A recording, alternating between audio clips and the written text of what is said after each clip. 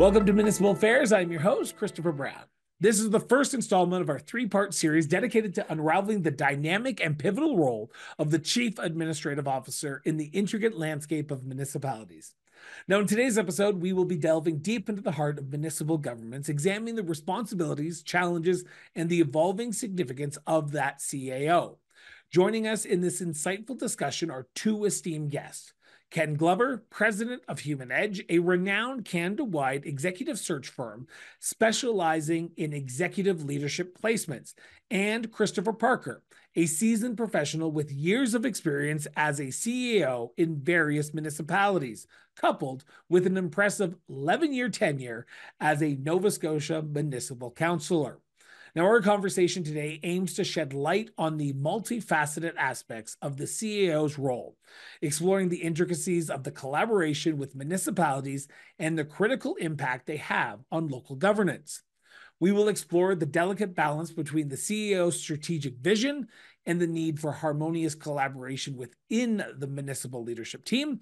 Furthermore, our discussion will unravel the intriguing questions of whether the role of the CAO remains as desirable today as it was in the past.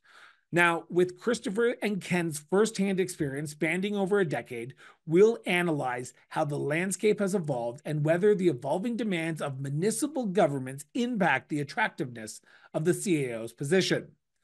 Throughout this episode, we'll navigate the complexities of finding a good CAO and delve into the strategies and qualities that contribute to a CAO's success in fostering positive relationships with elected officials and the broader municipal administration.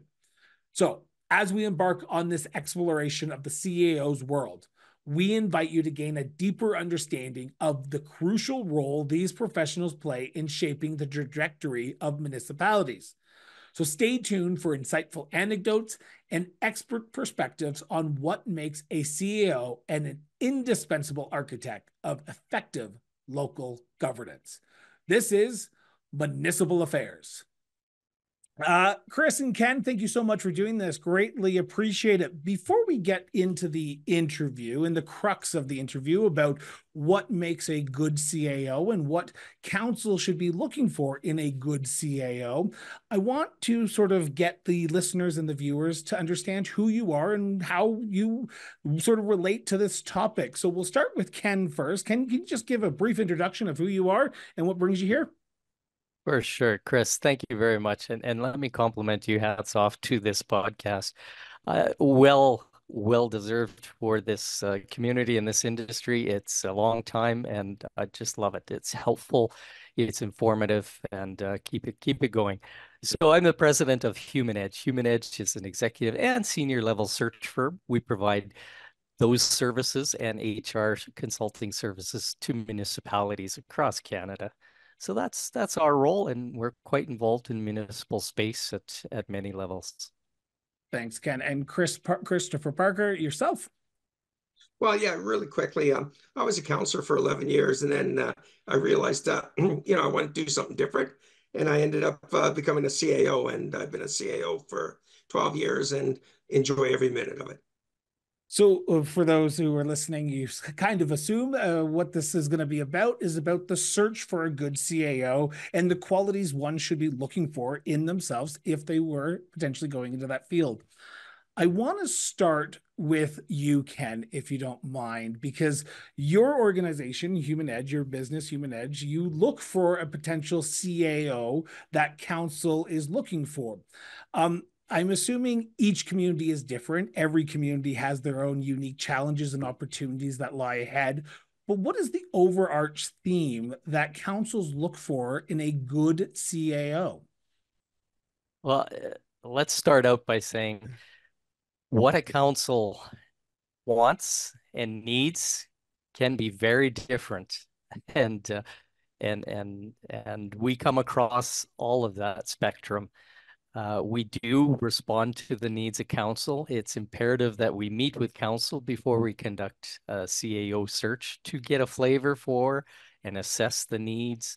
So we're in a position to articulate the culture perhaps of the community and definitely the nature and engagement level of council and any particular needs they have. But in general, you know, in general, council's always looking for a CAO, and and I pan over to the latest search we did for a CAO. They, want someone with leadership skills. Obviously, the staff relationship is imperative. Um, community engagement is imperative.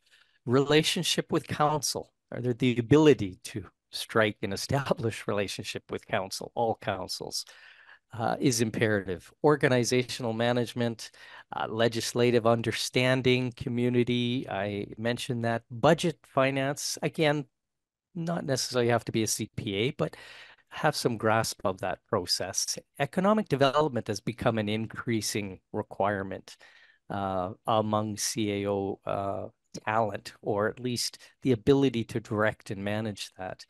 Um, simply because of economy time, economic times. But to to to capsule your question, really it varies. Every council does look for something a little different at the time. Uh, I have had engagements with councils where they said, "Ken, um, we want somebody to really dissect this organization, analyze it, and we're not afraid of turning it upside down if necessary." And others want um, you know stability, continuity, and fair, uh, obviously uh, uh, uh successful uh, uh, moving the, I guess, the needle forward for the community. So on the flip side of that, Christopher, I, I want to ask because you've been in the role and again kind of alluded to the needs and wants of a council.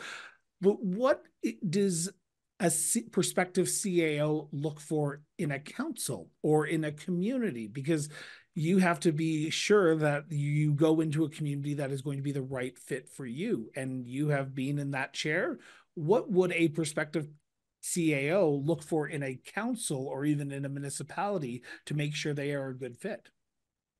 Well, the, the, first of all, I think one of the most important components of it is is is you have to look at the organization and does its values and uh, um, meet your values. Because what happens here is um, I do a lot of research. Usually, when I go to a community, I watch their videos if they are on videos. I watch how they interact with each other. I I watch how they interact with uh, the public. I watch how they interact with staff.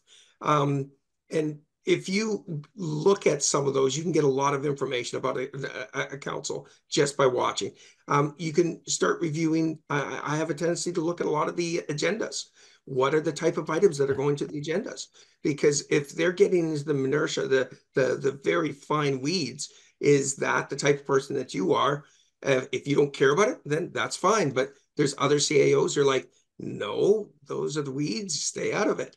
Um, so doing a lot of homework, making sure that your values are the same values that they're looking for, and their actions and persona is very similar to yours.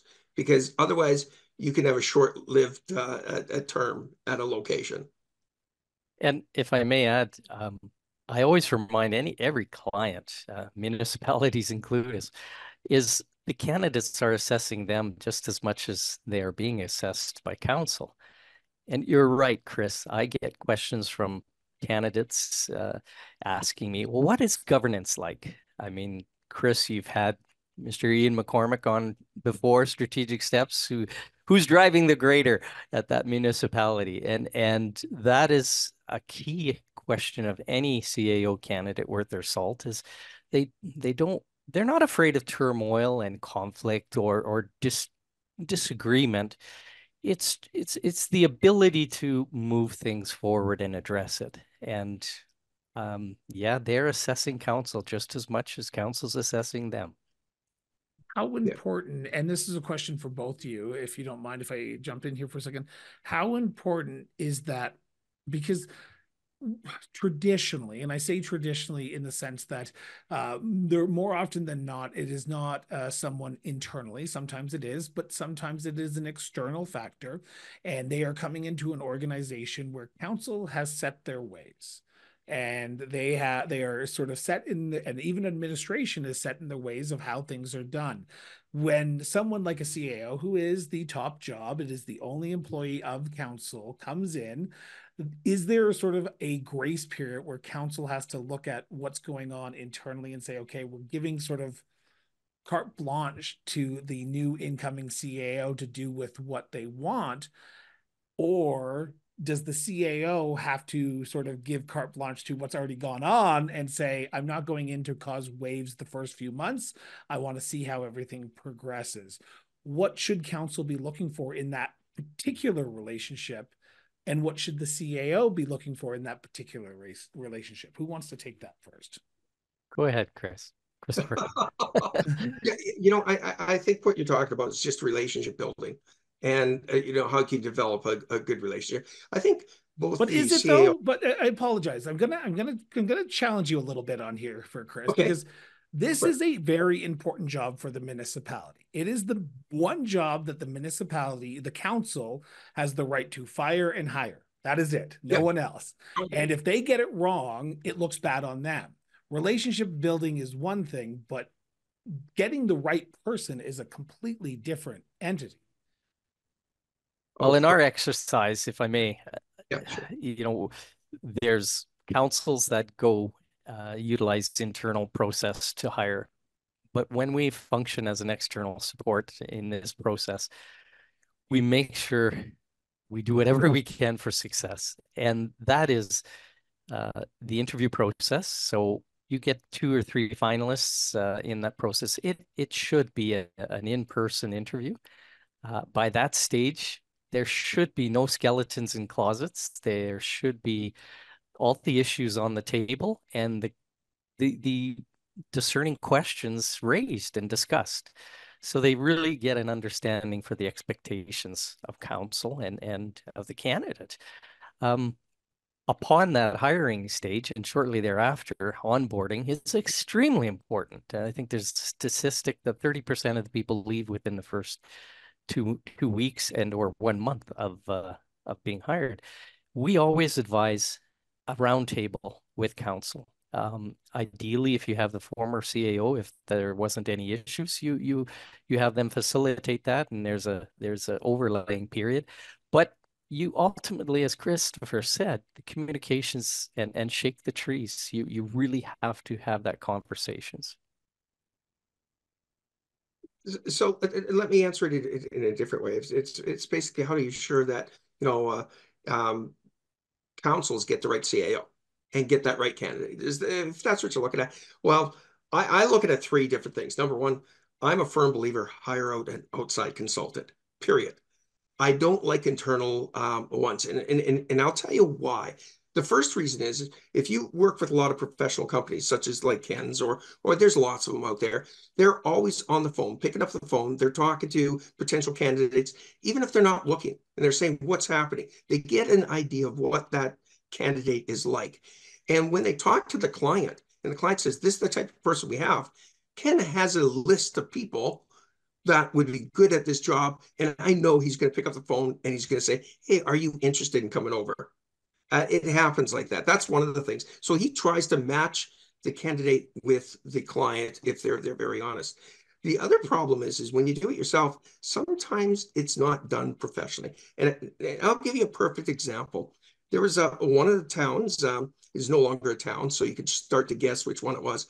They actually um, did a CAO search on themselves uh, for by themselves, and when they went in on the agenda, they listed in camera going into CAO search.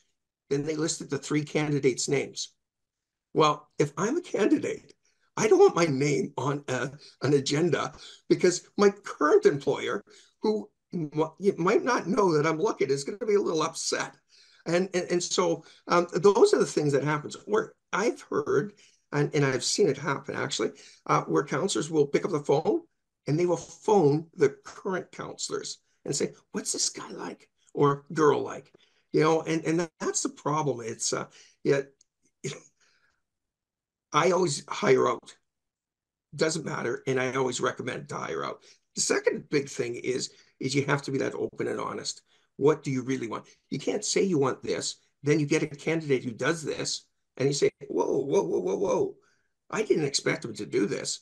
Um, and a perfect example is uh, I'm going to flip to a, a, a provincial election when uh, one of the premiers said, this is what I'm going to do, this, this, this. He got elected and then he started doing this, this, this. And people saying, why are you doing this? He said, I told you I was going to do this. Simple as that. That was Ralph Klein. And what happened was is he got chewed out for doing what he actually said he was going to do. So you got to be on the same uh, uh, uh, wavelength there. And and you know, I think have that open communication with the consultant and the candidate will help you is it hard to have that communication in such short period of time? Because I've seen CAO job hunts take six months. I've seen CAO jobs take five years. I've seen CAO jobs take three weeks.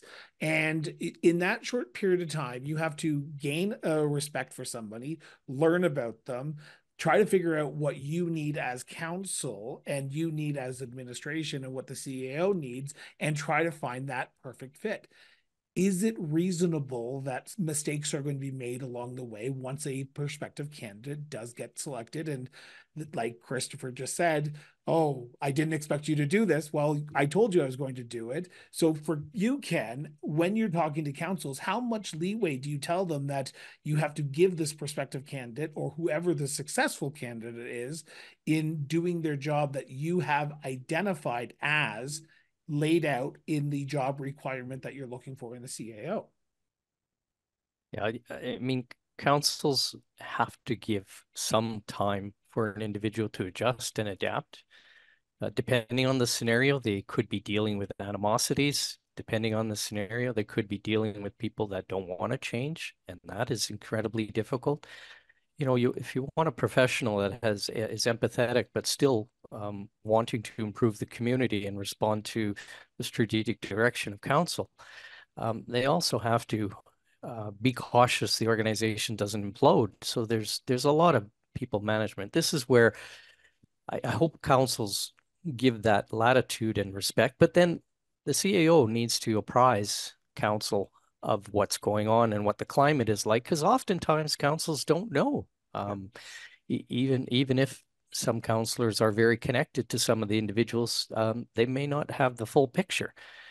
So there's no real formula, exact formula. We we've been very successful in in finding people that have fit, um, but there are individuals on council at times that do a 180 um, based on what they've asked for or based on um, what they've um, committed to with the rest of council and um, decided to go back um, perhaps uh, how they functioned in the prior or what caused the previous CAO to depart. Uh, not sure, uh, but we we do come across those situations, and I've had CAO candidates I've placed to ask me, uh, Ken, uh, it's been six months here, and and I'm seeing a different council than what I interviewed with. Um, and and unfortunately, those things happen, and maybe they happen also on the flip side for you, Christopher, um, when a when you go into a new community like you have as CAO, you have to balance what council has directed you to do and with the realities of what administration can do. How important is it to not only just build that relationship with council, but build also as quick of a relationship with the administration. And I'm not just saying senior staff. And don't get me wrong, a city and a village are going to be two different things. You're going to be able to know everyone in a village or a town. You're not going to know all your administration in a city. But how important is it to build on the opposite end for a CAO on a quick uh, pace as well compared to the uh, relationship you're building with council? Well, just speaking from going into a couple of different uh, organizations, there's always that um, concern from administration that, oh my God, you're going to come in here, and you're going to do major changes. Um, I've always asked this question, and I've always asked, okay, tell me one good thing about the organization, what we're doing, and if you could change one thing, what's that one thing you could do to change? And what that happens is then you're getting them involved in if you are going to do changes and there's themes that happen almost all the time um, they're feeling part of that change then and they're feeling they're in control of it as opposed to it being top heavy down. And, and i'll give you an example. This is one of the toughest ones that i went into. I went into this one organization i asked that question and and and I start off with the the senior management, and then I go to the managers, and then I even ask uh, frontline staff. And I was in in this one individual's office, and I said, "Okay, what's one thing you could change, right?" And the individual responded said, "It doesn't matter. I said, What do you mean it doesn't matter? Ah, you're not going to be here in three months. So, and I looked at that and I thought, Holy mackerel, I'm your boss. Was that ever insolent? What happened to you that you would say that to me right now? And I, I could not understand why they were so demoralized. Turned out to be the best worker, but what was happening is this individual consistently had people that would, um, she'd make decisions, then they would report to council, then council would come on in, or the CAO would come on in and overturn her decision, even though her decision was right. And it was so um, I made sure that never happened. Um, I always said, explain to me why you made that decision. And then I always defended uh, the particular individual. So um, that's building a staff to make sure that, you know, you're new, you're going to be supportive of them. Um, but also they got to be supportive of council too. So they, can, I, can I ask you a very poignant question right now, Christopher? Go ahead. As the role of the CAO, which relationship is more important to a CAO, the administration or council? Both. And I'm going to tell you why. You need your people to get all your objectives done and everything done. You can't do it by yourself. And you need to have the, the trust of council so that you can do these things. And they'll give you the resources so you can do these things. It's not a one or the other. Um, I, will give you an example. Like, like here, staff should never trash council, and council should never trash. Sorry, I, I, shouldn't laugh. I apologize for that. Yeah, well, they, they shouldn't. And and and and I'm going to tell you, you can have difficult council members. You have to understand why they are the way they are. And if you understand why they are the way they are, you can change your whole thinking on it. So you don't trash council, but you don't allow council to trash staff. And I've seen it in council meetings where, you know, you, you'll have a, a staff report and the CAO will sit and do nothing once and, and, and, and they'll watch their, their staff member get just raked over the coals. Um, I had a situation in, one of my places. I stopped the meeting. I leaned over to the, the chair and I took council's aside and I said, you can't do that. If you want to attack, you attack me, you attack me in, in camera. You will not do that you know, and, and, and that's the problem. So you got to do those two things. And then the last thing I think when you're trying to develop it, sometimes when people, you know, especially staff members, when they're giving recommendations to council, they become personal. And sometimes council will not accept those recommendations. They'll go a different direction. You say go right, they say let's go left. And then they get upset about it. Don't make it personal. They are making a decision based on lots of items, not just your um, uh, recommendation. There's some political reasons why they're doing it. There's some financial reasons there. There's, I hate to say it, electability issues that they're looking at, you know? So there's a lot of different reasons why they'll they'll go one way or the other. Um, so don't make it personal. Don't get too excited. It is, uh, as long as they say when you go left, it's not breaking the law, hey, go left. What's the big deal? That is imperative. Uh, all those things you mentioned, Christopher. That's why in our process, we always interview, include interviews with directors, direct reports to the CAO, or who will be direct reports is just to understand you what what was that culture like uh, with the prior, and what are you hoping for moving forward? And sometimes you can uh, and will learn things that council's unaware of. So it's very helpful. It's very helpful, and you do need a team. It takes a team to move that organization forward. So we are recording this in 2024, and I want to talk about the role of the CAO because in case someone's listening to this in 2025 or 2026, who knows? But in 2024, I want to look back because the role of the municipality has tr- changed dramatically over the last five, 10, even 20 mm. years, I would say. For you, Ken, are you seeing mm. councils looking for different qualities in a CAO than five years ago, 10 years ago, even 20 years ago.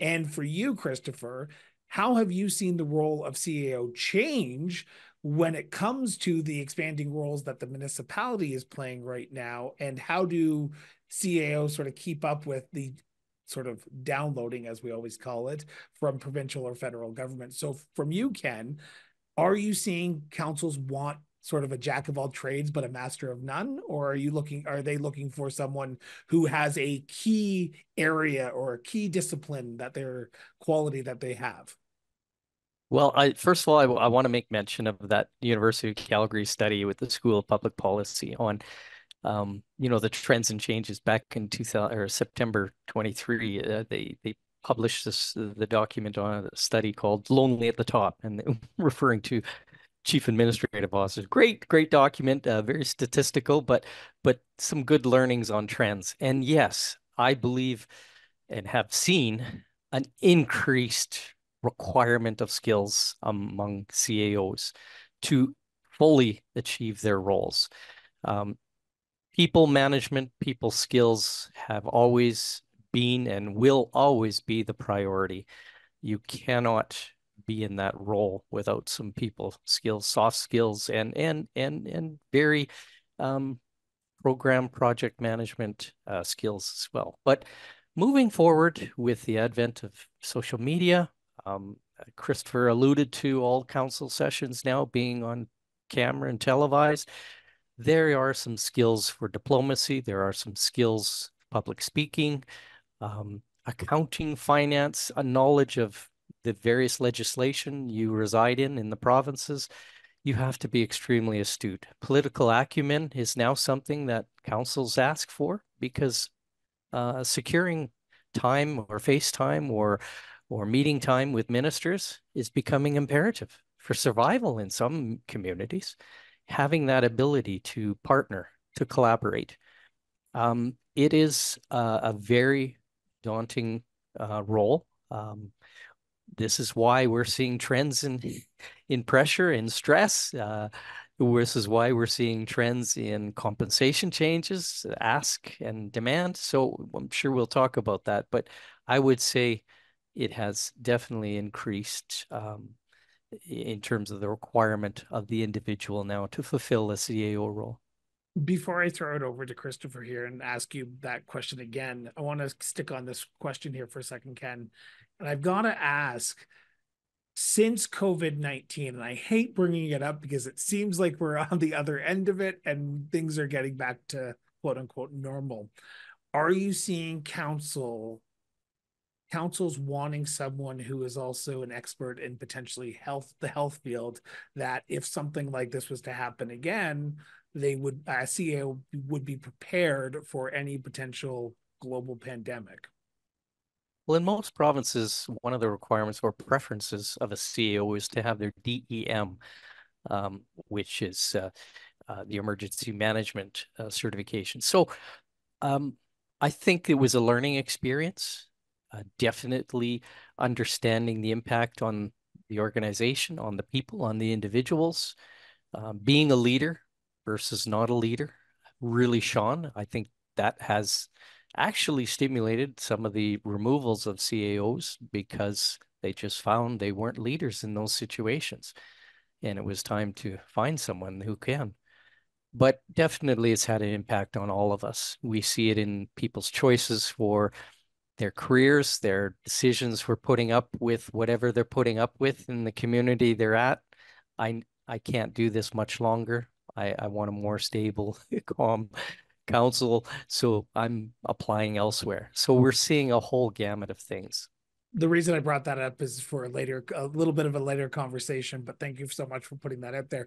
Um, Christopher, I do want to uh, follow up with you you have been a CAO. You have been a CAO for relatively the last 15 years, if I'm not mistaken, looking through your past resume, but 12 years. Has the role of the CAO changed, or is it pretty much the same? Just different communities have different responsibilities, and the CAO has to adapt to what the community needs are instead of what the job needs are. I, I think it's changed. I, I, want to talk a little bit about when I was a councillor, and then I went to uh, being a CAO. In, in, 2000, when I was a councillor, um, Facebook was just starting. It was it, it was it was a non-entity, and what I have noticed over the last 20 years is basically politics has become more polarizing. You're either with us or you against us, and it becomes very very aggressive. Um, transparency, need for transparency right? And, and and and and, exactly. And and and and the issue is is is I think um, when I was on council, I was on the third largest council in, in, in Nova Scotia. We never had a strategic plan until 2011, just the year I was leaving. It was um, yeah, I know, no strategic plan. I think it's important to make sure that you have strategic plans, policies, and budgets, and they all interrelate. That's a big thing that you need to do here. But you also have to adapt your communications because the issue that you're running into right now is people are, if you don't tell a story soon enough, they're going to tell a different one and you're going right. to be in trouble. So that's one of the problems. And what I see in the future is going to be an issue, and people should be aware of it, is the deep fake videos with, uh, you know, AI. Um, it's so easy now to make deep fake videos. I could see someone making them of, of staff members saying, oh, this is what's happening, just to stir up the politics, or of current council members or people running for council. And most people, when you say this, it's like, oh, yeah, really, it, it's going to happen. Trust me. Okay, that that's a bomb that you just thrown into the conversation yeah. that we might have to come around to in a few seconds. But I want to talk about the person for a second because in 2024, I have noticed on LinkedIn, because that's where I get most of my social media now, because it's nice and friendly and everyone enjoys their life on uh, LinkedIn. Um, there seems to be a lot of turnover at the top job, especially in the hmm. new year being 2024. What draws someone into becoming a CAO? What is the thing that someone says to themselves, you know what, I want to go take leave my public sector job, uh, the private sector job, and go into the public sector as the role of the CAO. I'm going to start with Christopher on this one, then I'm going to throw it over to Ken because you have heard from CAOs. So, what made you change, Christopher, from being a councillor to being the person in the office talking to administration and setting those meetings with provincial cabinet ministers? I could get things done. As a councillor, no, I'm sorry. I, I, hate to be rude about it, but with council, you're working on the strategic plan. You're working on uh, the policies. You're working on the high level stuff, the 30,000 foot stuff, and you want to fill the potholes. And as a CAO, I can get so many things done. And, and, and I'll tell you exactly what happened, what made me do this change. Uh, we were part of um, uh, FCM's uh, Municipal Partnership Program, and we actually had a project in Cambodia and the staff member who was supposed to be doing it left our organization and no other staff member wanted to do it. So they they looked and they said hey let's send it to parker. Maybe he'll go there and not come back. So i ended up uh, going to cambodia working on the municipal partnership program and i had to go back six months later and we saw the change. And i realized man i want to do something I want to get my hands dirty. And that's what got me into this field. You, if you are the type of individual who really wants to affect change in a community, the CAO role is the, the one for you. Now, that doesn't mean you shouldn't understand the pitfalls of it because you do serve at the pleasure of council. Today, you're the best person. Tomorrow, you're the devil sometimes. So just be aware that that happens. It could change that fast. But if you're aware of that and you're the type of a, a personality like, and, and, I am, I've got this red personality is red, blue, green. Red is action oriented. Uh, blue is you care for people and green is pers- uh, basically policy wonk. I love to get things done. And um, I find it exciting. I are encourage you, people to get. Are you seeing, Christopher, are you seeing more people? Because um, Um, for those who are, and I apologize to say this this way, but I got it kind of have to. We are seeing more and more people of your age. You are of a generation that seems to want to take on these leadership roles. I'm seeing the Gen X, the Gen Ys, the millennials not wanting to do the jobs that you, the CAO. Are you seeing that in your line of work? And then I'm going to jump over to Ken on that question and talk about sort of what you're hearing from prospective candidates. Well, I do a lot of mentoring. So I've, I've mentored a lot of uh, SAOs up in uh, the Northwest Territories, and I also mentor a lot of um, uh, CAOs. So uh, friends that I know, uh, individuals that I know, people I don't even know. And I'll give you an example. Like sometimes when a, a CAO is terminated, I will pick up the phone call, uh, phone, and I will phone them, and I will help them through that process because it is a very devastating type process uh, uh, for them to to go through, and they, they need some people just to help them out. And um, so, do I see younger people? I, I, encourage younger people, but be aware of the pitfalls. That's all I say. Um, I'm very lucky. I have a wonderful wife. She's a nurse. her skills are transferable in every community. And when I go into interviews and I say there she's a nurse, they almost want to hire me, not because of me, but because of her. You know? So um, and, and and she doesn't mind the moving around a little bit. But um, there's other individuals I could see if they're a little bit younger and they have young kids, they might say, I'm going to wait until, you know, my kids are, you know, 18, 19, 20, you know, out of the house and, uh, which is fine too, you know. Um, and then I see some younger people get involved in it. Um, it flips. Um, it's a great field though. So for you, Ken, you, you get hired by council, and I, I, say you as in Human Edge gets hired by council yep. to do an executive search.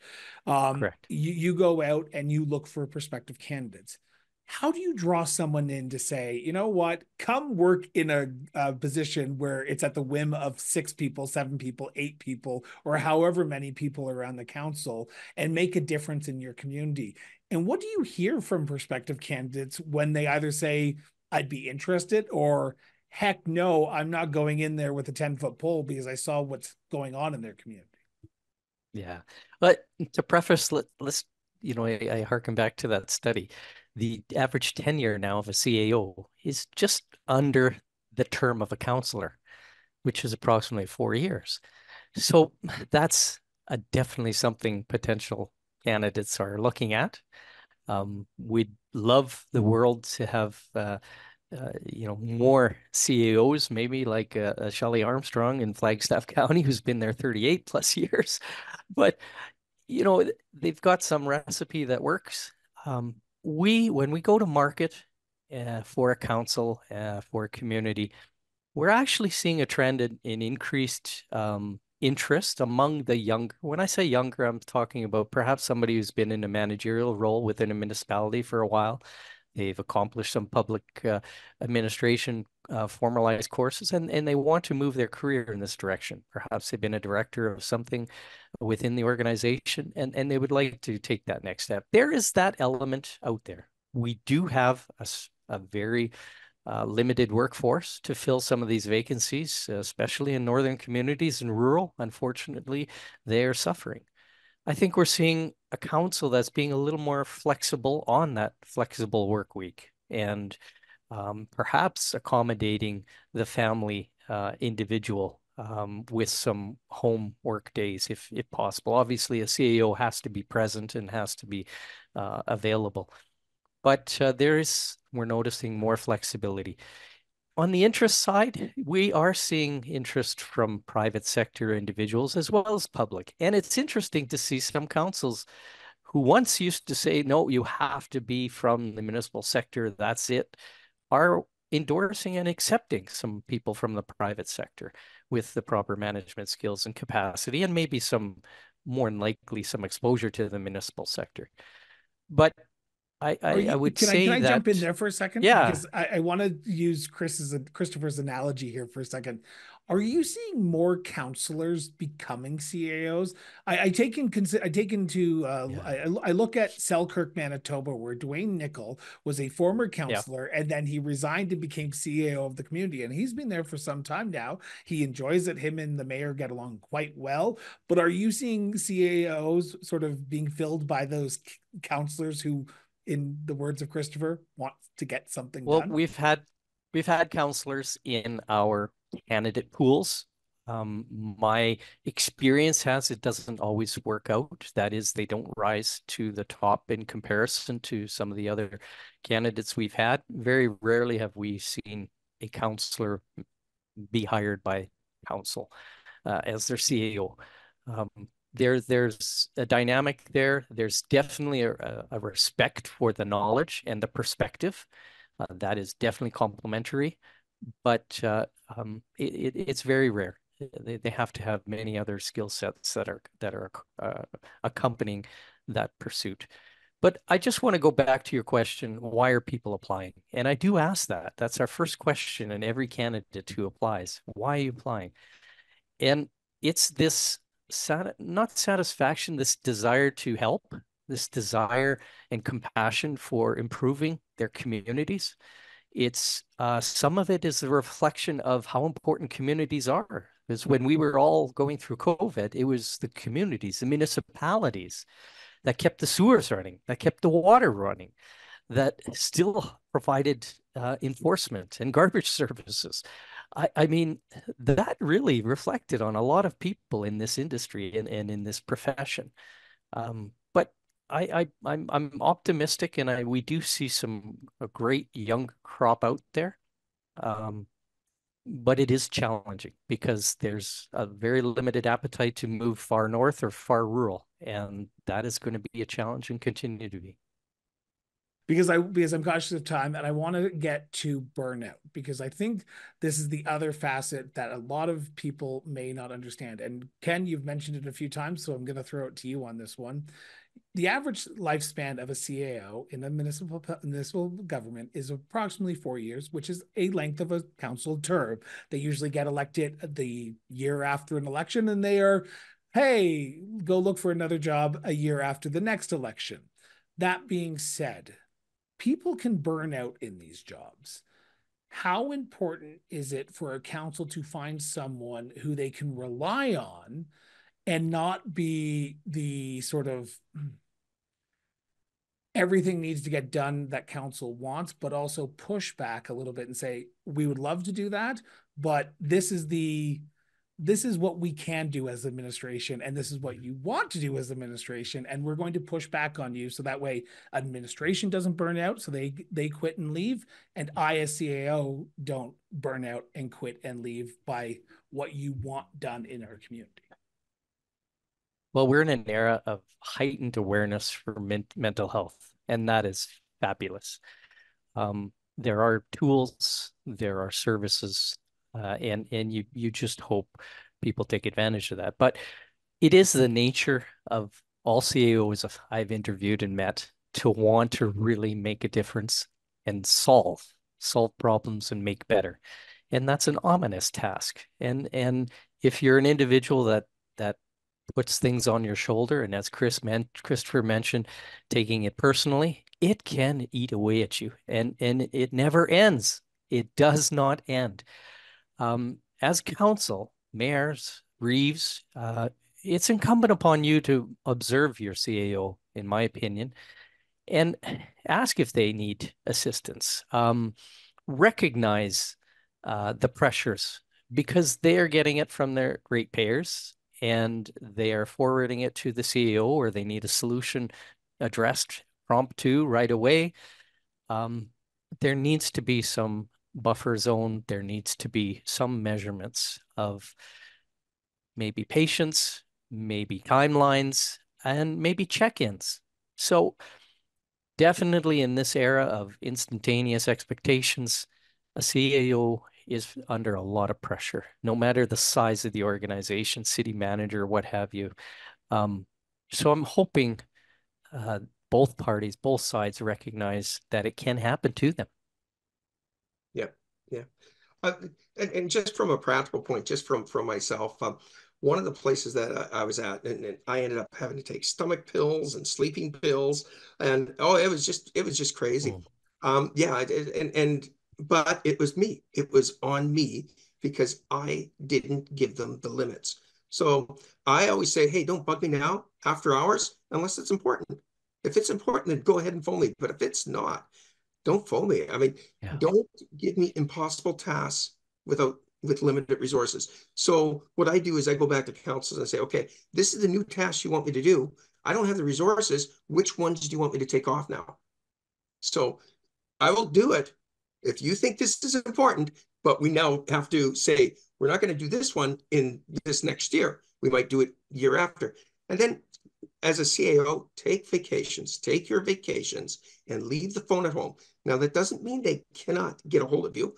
We have email. If it's an emergency, send off an email, but leave that phone at home. I'm a type A personality. I just kind of always are constantly on it.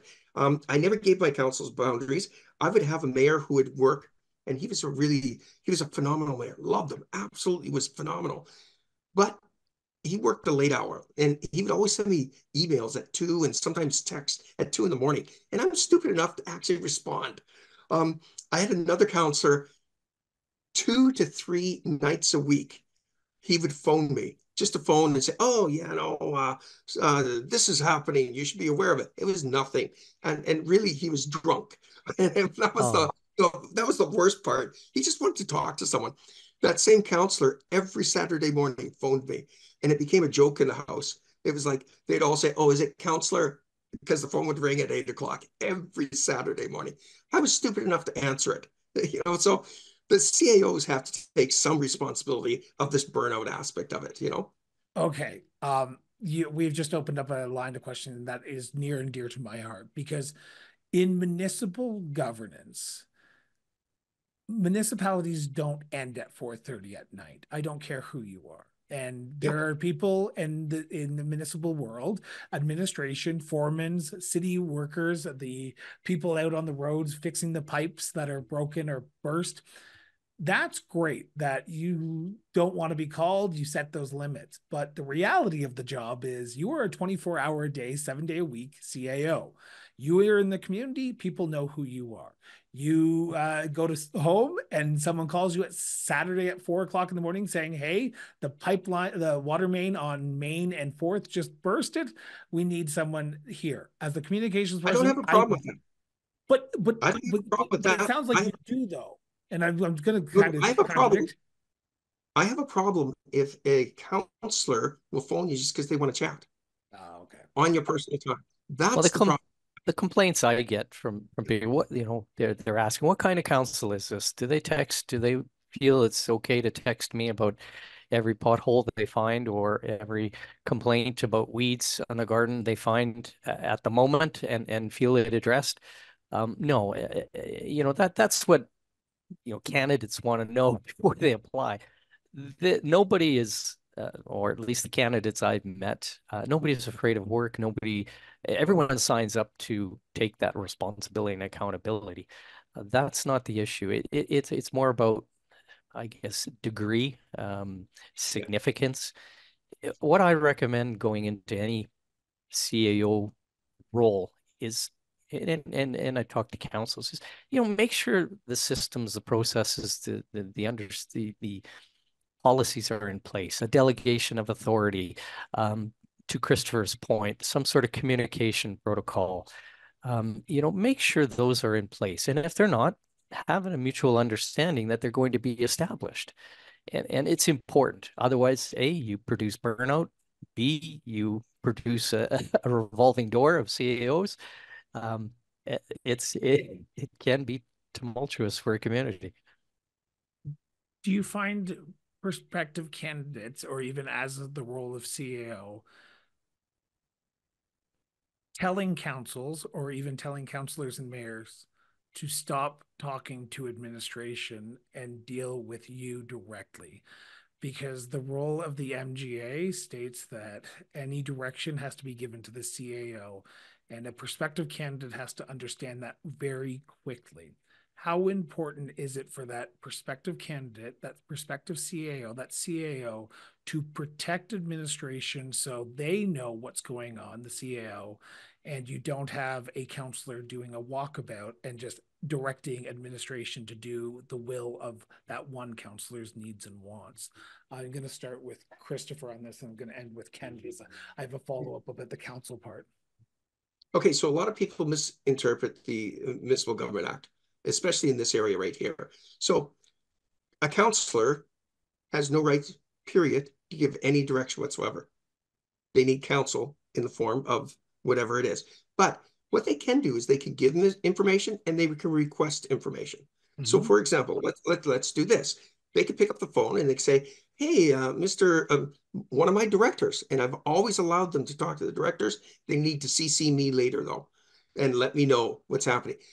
We have a pothole, and the pothole's on this street, 97th and whatever. Okay, no big deal. We now have that information. Now we have a time frame according to our policy when that pothole has to get filled. 72 hours. It will be filled. Second thing is they could request this information. When will the pothole be filled on 77th on 77th Avenue? Okay, we can give them that. What they can't do is they can't say, I want that pothole filled by tomorrow morning. So that's where people get a little excited and they say, oh, you can't talk to staff. Darn right, you can talk to my senior staff. You, I don't need to know about every little thing and, and deal with it. I just need to know it's being done after the fact, right? So talk to them directly, let them have that information, request information. We will deal with the issue.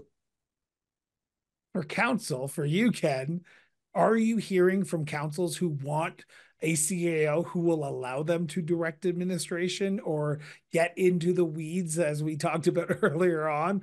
Or are you uh, are, are councils kind of uh, sure uh, like aware that their role is to only direct the CAO to do their to to do something? So i'm i'm i'm going to harken a little bit about what christopher said too. It varies and and there's a lot of gray area we make sure in our search process and the interview process, this particular question is addressed.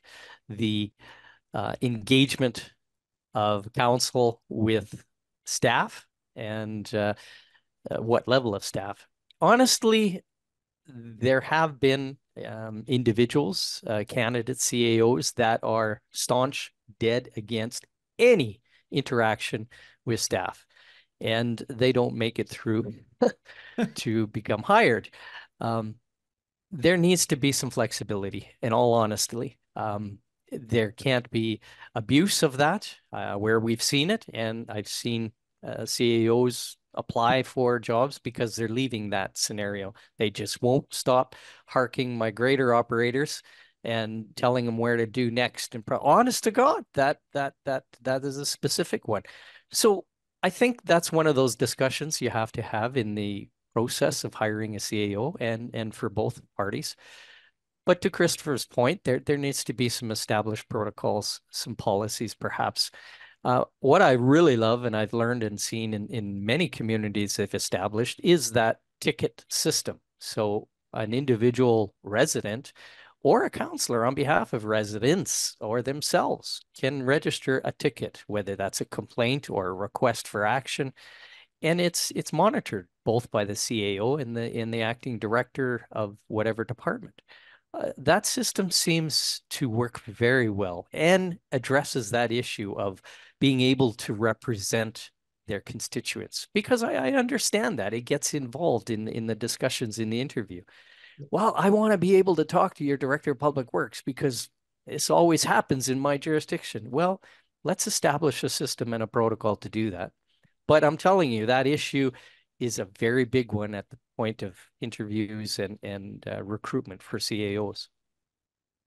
And, and, and, let's just add, uh, the, the ticket system is, is phenomenal. It's, it's, we, I use it all the time. It also protects you because when someone says, hey, so if I had a councillor who, who phones me or my directors, they actually fill out the JIT and they fill out the tickets themselves and then they can track it. Because if you have policies that say you're going to do certain actions at certain periods of time, you got to know when it starts and when it ends.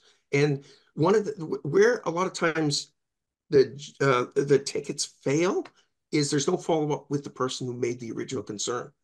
And I've always stressed that once you close it, you go back to the original person. We have completed this file. And, and, and it closes that circle. So communication, remember when we talk right at the very beginning, communication. You need communication with council, staff, and also your ratepayers. Um, but it's not direction. It's it's it's communication. You know, it's right. like that's what it is, and it's there's nothing stopping anyone from getting uh, that information across so I have two questions left, and I hope you guys have an extra 10 minutes for me because I know I said 40 minutes and we're at the hour mark because this is how time flies when you're talking about municipalities on this show. It seems like it's yeah. 10 minutes, but it's actually an hour. I uh, we have talked about a lot of things over the last hour, and we have talked mm-hmm. about the good, the bad, and sometimes the ugly that comes with being the CAO and what a prospective candidate wants. I'm going to ask a very poignant question to both of you, and it's both the same question is being a CAO desirable in 2024 as it was five years ago? All right, I'll I'll I can speak to that based on practical experience in undertaking searches most recently for CAOs. And I believe given the amount and volume of interest, uh, you know, some are uh, some are, are are frivolous, but most of the quality applicants that come forward and the volume associated with that are indicating to me there's an interest. There's still an, an appetite and an interest. Now, there's a lot of what ifs and questions that go on with that. And I think the questions and list of questions to be answered has increased both on the council side. Can you give me a few? candidate side. What are some of those questions? Many of them are, are just what we've asked about compensation. Um, uh, because of the precariousness of the position of a CAO, most candidates now are asking for severance clauses of, of significance compared to years back, or not long ago, there weren't any. So, you know, things have changed, uh, but I do believe the passion and the interest for this career path still exists. Um, I think there's a, a, a definite um, intent to move in this direction. I, I think it's become a little more um, uh, uh, an option for many people in the municipal space and non-municipal space who can trajectory into that sector. But um, definitely, I, I I don't think we're we're at a loss. We are going to find challenges right now for the rural and um, the the northern, and that is a known and experience right now, and that's partly workforce availability and talent availability, but also just family and work-life balance. Um, it is becoming a difficult fill. I have a follow-up question to that. And I know I said I was going to ask one last question, but I have a follow-up to that. Are you seeing more men as CAOs in 2024 or are you seeing more women get involved into becoming CEOs? You talk about Flagstaff County, 38 years, great CEO. But are you seeing more women being interested in becoming CAOs than you were, say, 10 years ago? Yes. Yeah, I definitely. Uh, the number of individuals who are aspiring, going through many of your listeners are familiar with the NACLA or CLGM process there's equivalent, you know, public administration um, certificates and diplomas, um, New Brunswick University, Regina. We're seeing more and more of those candidates emerging, uh, individuals that perhaps were functioning as an assistant uh, CAO or were director of finance, and they're wanting that next, and they're capable of it. Um, I would say where we used to be 100% 99% male. Um, we're probably 70 30 now in, in CAO searches. That's awesome. Christopher, for you, is being a CAO desirable in 2024 compared to four years ago, 10 years ago? I'd, I'd say in a heartbeat. In a heartbeat. I, I, I, I look, um, you, you do when you look at this role, you do understand you serve at the pleasure council. Once you get over that point and you develop a good contract to protect yourself, and that's something we haven't even touched on really that much. But really, if you have those two things hand in hand, then basically, yeah, it's it's it's a great, great, great, great job. I I I encourage anyone to to get into this field. Um, I've had more satisfaction doing that. Now, what your listeners probably don't understand, I have a varied background. I was in the military. I was a teacher. I was a, a chef. I was a, a business entrepreneur, um, a jack of all trades, master of none, and I became a CAO. And I love it. And it is a phenomenal field. And every day I wake up um, are there pitfalls? Yeah, there's always pitfalls. Uh, I'll tell you the pitfall I had when I was in the military. I was served with the UN peacekeeping forces, and I had a guy jump over a fence, a Syrian soldier, put a submachine gun up to my head. I was 19 years old, cocked it, was about to shoot me, and I'm like, oh God, this is not good you you have enjoyed your time in the the world of CAO municipal governance, I'm assuming. And if I'm looking at your LinkedIn profile before, prior to this, it seems like you still have more to give. What do you look for in a prospective council in 2024 that you weren't looking for in 5, 10, 15 years ago? You know what? Honestly, I look for councils that can actually work together I find the hardest thing is not the administration, not the, it's the councils themselves internally. Um, I had one one position where the councillors hated each other. They just absolutely hated each other. Um, and and, and they, they they were fractured into groups. And one group disliked this other group. And they tried to get, you know, the CAO and staff to side with one group or the other. That's difficult. That's something that, um, you know, to that's a difficult uh, situation going. Um, you can always build up your resources. You can always build up your reserves. You can always uh, uh, find creative ways to get things done, but you can't make people work together if they don't want to work together. I appreciate that. I have one last question for both of you, and it's two different questions, and I want to, they're basically the same, but they're two different. For prospective CAOs out there, Christopher, what advice would you give prospective councils who are going through the CAO hiring practice to look for in a future CAO? Oh, yeah. So, oh, that's a tough one. Uh, how about this? Let's let's switch this around and say what should a prospective CAO look for in a council? I think I was going to oh, ask Chris that. I was going to ask oh, okay. and that. I yeah, was going to because he's the one who deals with council. You're the one who's dealing with the CAO role. So, what should a council look for in a prospective CAO? And then for Ken, I was going to ask what should a CAO look for in a prospective council Because oh, okay, I think it's two different unique uh, different visions that both of them are looking for. But at the end of the day, you have to give and take a little bit. You can't, you're not going to win 100%, and you're not going to find the perfect job no matter where you are. There's always going to be pitfalls, especially yeah. in municipal governments. So, what should a council look for in a prospective council or prospective CAO that you would give them advice on?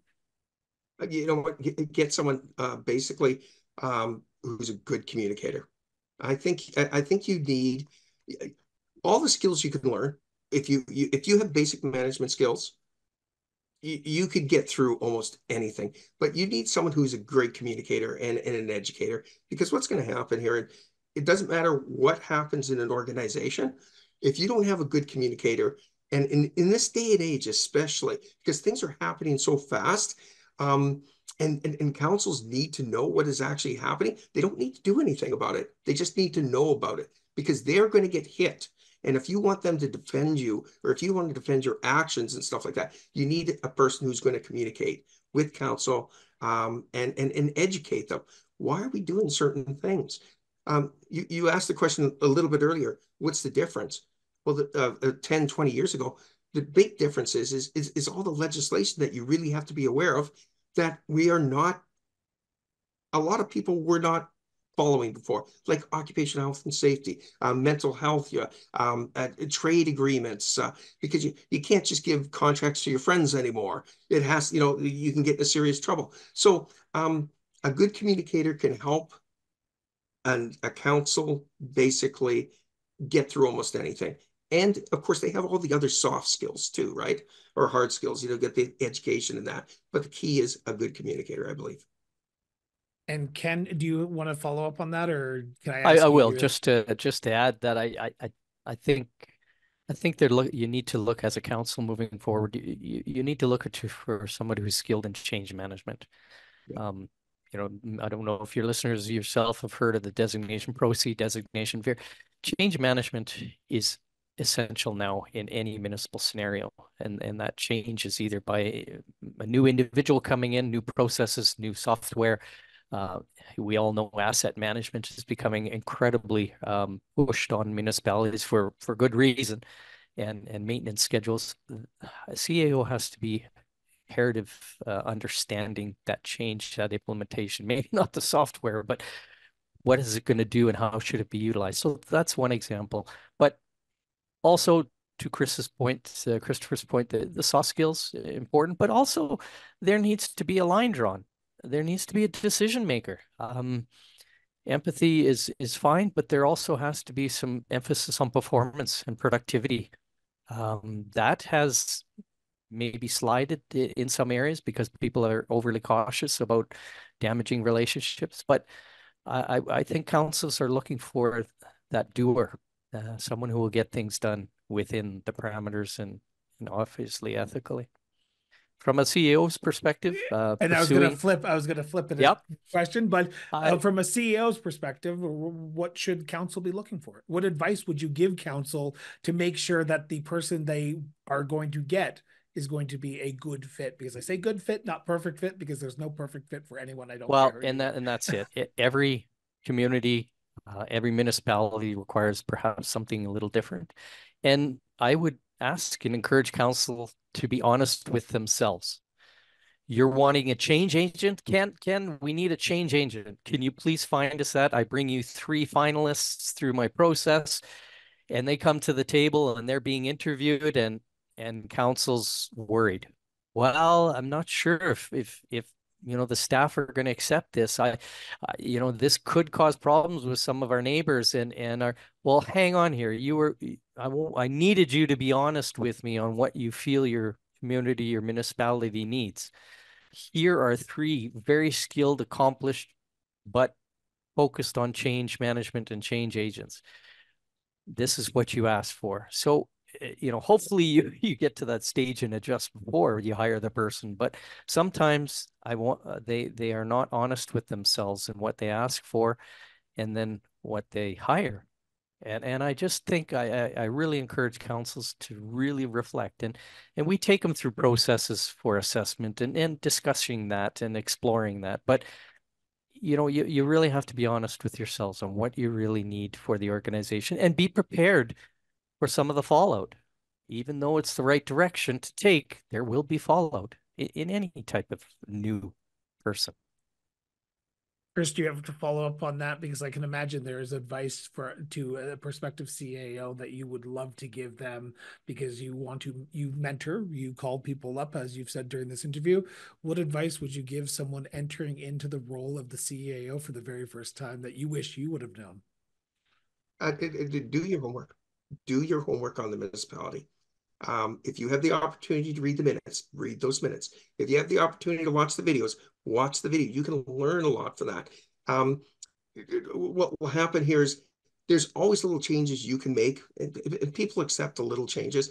But if there's some big, major, major changes, then you have to have a long-term plan to try and implement them. But do your homework on the municipality. What are their strengths and what are their weaknesses? Um, most of the municipalities I've gone into, their big weaknesses is financial. You know, so I've had to come on in and and and, and when they're talking about asset management, one community they hadn't done any replacements of anything basically for 25 years because they were trying to keep the tax rate low. And uh, so that was a big challenge to Catches go in there. up to you, that's for sure. Yeah, it catches right up to you, and, and all of a sudden, like taxes are really shooting up. Um, but we actually had a pro our asset management plan would still be replaced everything in 100 years.